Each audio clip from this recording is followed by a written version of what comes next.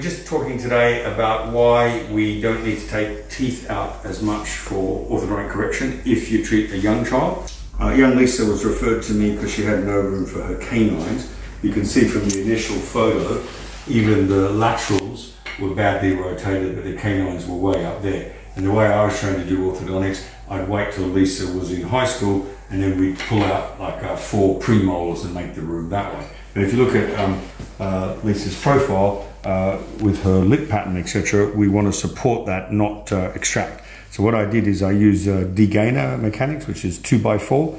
Uh, what that simply means is you're using some activated cross spring to make the room. You can see how nice and broad that arch is, right?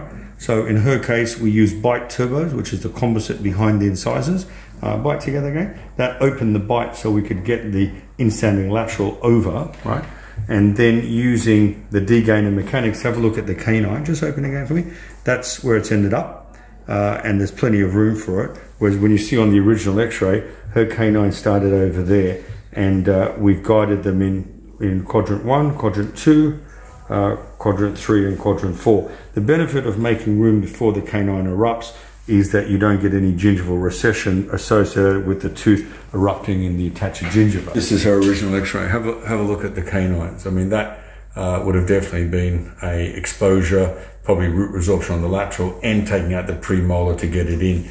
But if you look at this x-ray compared to her most current x-ray, um, have, have, a, have a look at the difference uh, that's occurred. So the benefit is those four teeth I showed you, the 1, 3, 2, 3, 3, 3, 4, 3, have plenty of space because of the development of the palate while she's young, right?